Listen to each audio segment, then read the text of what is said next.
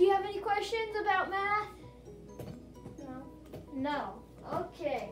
So, our first question. Five times five, five times three. So what we do is we do five. Yeah. Sorry about that horrible five.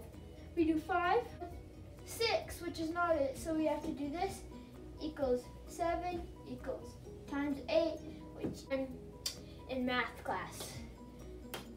Got this all memorized? Great. You'll get 15 as your answer. What? What do you mean, what? This was the easiest answer ever.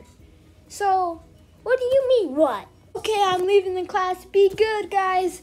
Be good. Okay, class is over.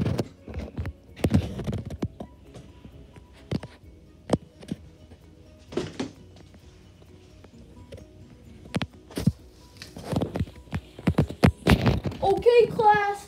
I'm just in the bathroom. I'll be back in like 20 minutes.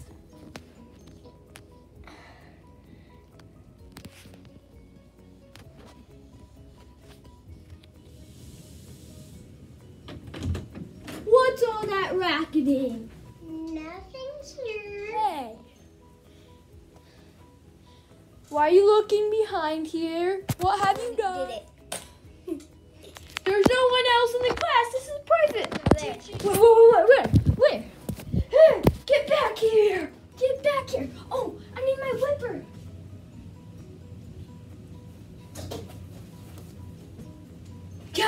there!